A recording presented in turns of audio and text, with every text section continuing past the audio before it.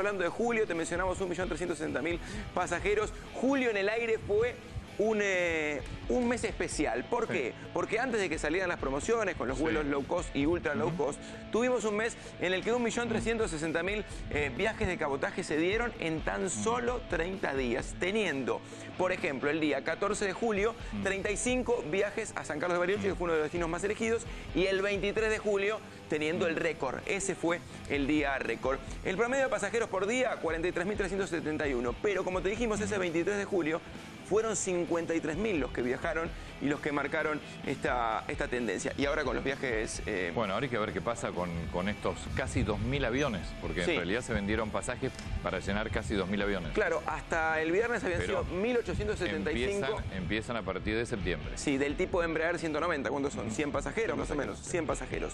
Un 14% más que en el año 2017, en este julio, y con estos pasajes de caballeros. ¿Qué fue lo que, de cabotaje, perdón, qué fue lo que cayó?